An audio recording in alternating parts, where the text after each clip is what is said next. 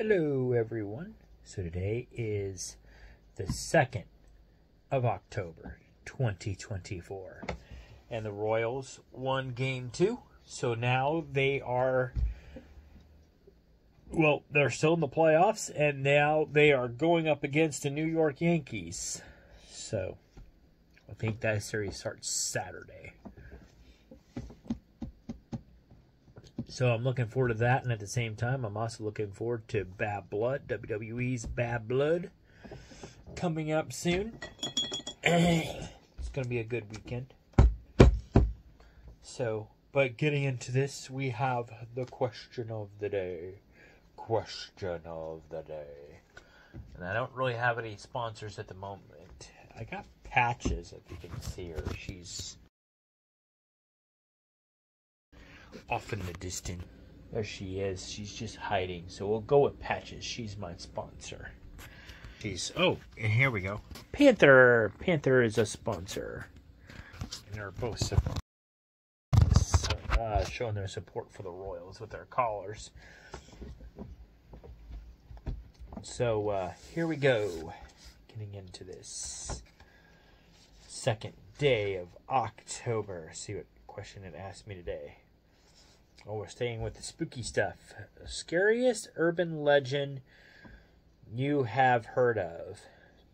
Uh, dang, caught me off guard. Scariest urban legend. Okay, well, I've got two urban legends. Well, three urban legends that I know of here in Missouri. I don't know what would be the scariest exactly. Um, one in Joplin. I know about that story. It's like a spooky lights. If you go to Joplin, like there's some weird orbs or spooky light looking things that change color. And uh, they kind of, you know, move on their own and all that. Uh, there's, it's unknown what causes them. I don't know if it'll really be spooky necessarily. Um, I mean, it depends on what you call it spooky it's a phenomenon that happens and there's just no explanation for it. Um, but also, uh, Lincoln County has two stories. There's a cemetery in Lincoln County that apparently is highly active of paranormal activity, ghosts, uh, relentless spirits, and there is a haunted cabin in Lin- uh, in Lincoln County also. I haven't been to either one, but supposedly there's a reporter that went to what they call the lost cabin in Lincoln County, and that reporter ended up running out of there, running for their life out of that cabin. Uh, so.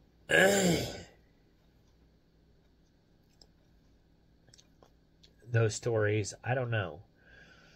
I mean, that's the stories of of Missouri. There's also another story I know of. I don't know where it's at in Missouri exactly, uh, but this school bus urban legend. Uh,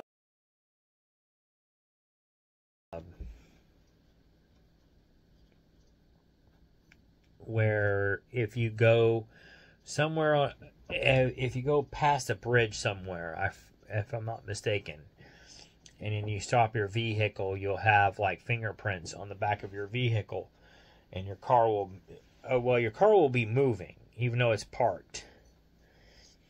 And uh, after you get a certain ways away, you look on the back of your car, there'll be fingerprints on the back of your car, like dirty fingerprints.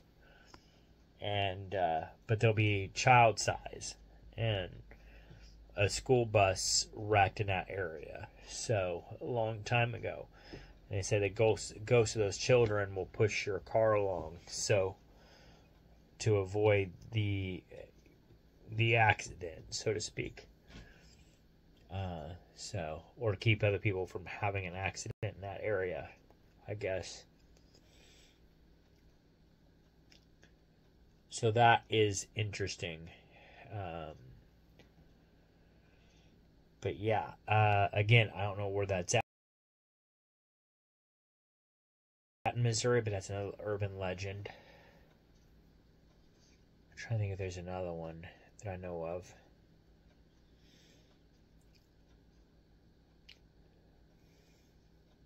One just came to mind and I forgot what it was. Because I know, like, when I worked at Walmart, uh, one of my friend, well, started off as a coworker, and we ended up being pretty good friends.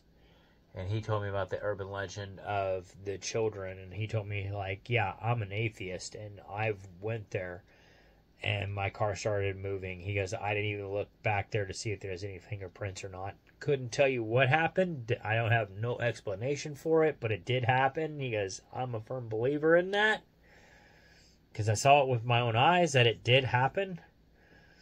But again, I don't know. He,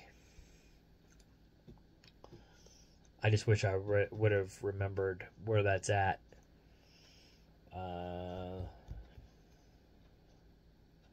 I know there's another urban legend, but I can't remember what it was at the moment. I may have let it go.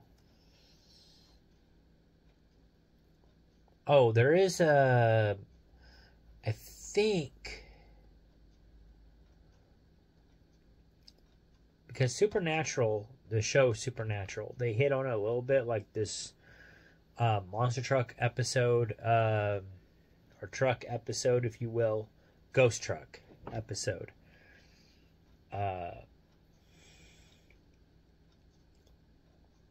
where this ghost truck was, you know, of a former, uh, well, back in the 60s, 70s, and supposedly this white guy who owned the truck, he was trying to chase out all the blacks. Um, this is during the segregation period of America.